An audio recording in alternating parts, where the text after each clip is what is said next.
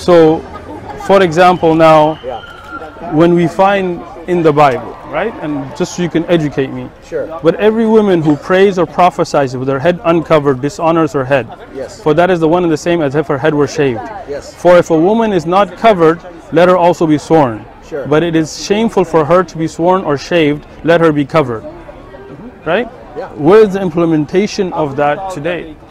And I have a real problem with that. In Okay. fact, I've written essays on that. Okay, so what's your problem with this? Good. My problem is this Mm-hmm. that the Koine word for head is kephale. Okay, It is used all through the New Testament. okay, And according to that passage, Mm-hmm. in a marriage, the man has a kind of spiritual headship over the woman. okay. And this is also reflected in two So what is the covering of that then? Okay, I'm getting to it. Okay. I'm getting to it. And rested.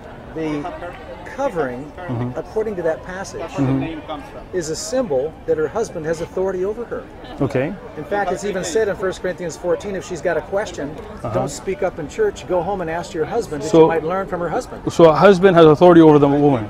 Over his wife. Okay. Okay, now. it's not like a equal setting then. Not well, all they're, they're, they're equal in this sense Okay. that they both have access to God through Jesus. Okay. But when it comes to leadership Mm-hmm. and responsibility and the buck stops with the man, the husband has authority over his wife. All right. Okay, so Sounds good. I I'm convinced Okay. So for a man ought not to cover his head. Yes. Since so, so this is you're saying is not an actual covering. This is the authority. the covering is a symbol of the authority. It says So a man should not have authority over him. Oh no, no. It says if a man prays with a covering on his head, he dishonors Christ. His head is what the text says. So what does that mean? It means You're saying that covering is not physical; it's an authority. no. I'm saying the covering is a symbol for the authority. So there is a physical covering a woman should wear. yes. How come women don't wear that here? because they don't take they don't take it for seriously. But Ah. Paul also says in the in the second part of that chapter, The nuns sometimes. a Yeah, nowadays they've kind of left on- it A little Yeah. later in that chapter, it says, yeah, they used to. Yeah, you're right.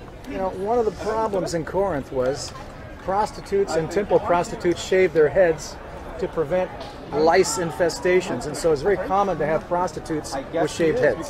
Gotcha. Okay? And so and so God is saying, look, if I gave women their long hair Right. as a covering, Okay. because a woman she has a natural veil. It says Paul says her hair is her natural veil Okay. because a woman reflects God's glory in ways a man does not. Okay.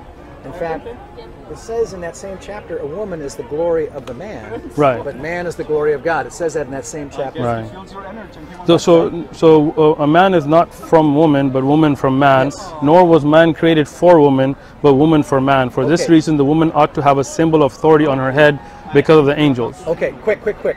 Right. Cool. Angels are very sensitive to divine order. Okay. And so, according to Paul, Mm-hmm. there's three theological reasons for a woman to have a covering. Okay. Number one, source of her creation was Adam's body.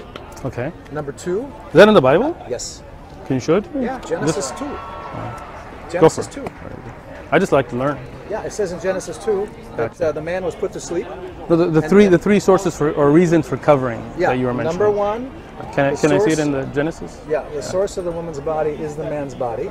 Gotcha. She was taken from his side, his rib, and in being taken from his rib, There's Genesis. uh, she was created second. So uh, it says,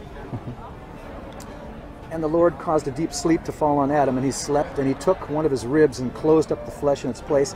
Then the rib which the Lord God had taken from the man, he made into a woman. Okay, it's all there. Well, but I mean, the covering is not mentioned here, right? Well, here's the point. Okay. Here's the point. Right. Three theological reasons for the woman's head covering. But that's not in. I mean, the three listed as three reasons are not in the Bible, First right? Corinthians 11, where you just turned to. Oh, but, but it, it, it only gave one reason, Well, which no, was it says three. okay. Let's take a look. I'm Yeah, not- there's three. Three Okay. reasons right there. So, but every woman. Go ahead. Here's the three reasons. Okay. Number one, she is the image and glory of the man. The man is the image and glory of God. Okay. Number two, the woman does not. Uh, the woman does not. Uh, for man does not originate from woman, but woman from man. The Okay. first woman was was from a man. Right. Okay. I'm with you. next, Next, nor was the was the man created for the woman. The woman was created for the man. Third, Okay. Fourth. Just kidding. Well, there's, there's three, three, three main reasons. All right. So, so, so, so, theological just, reasons. just so I can learn. Yeah, You're saying that a Christian woman who believes in this today Yes. should cover her head.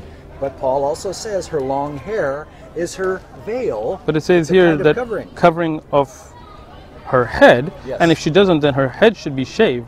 So if her hair was enough, what would she be covering? Good point.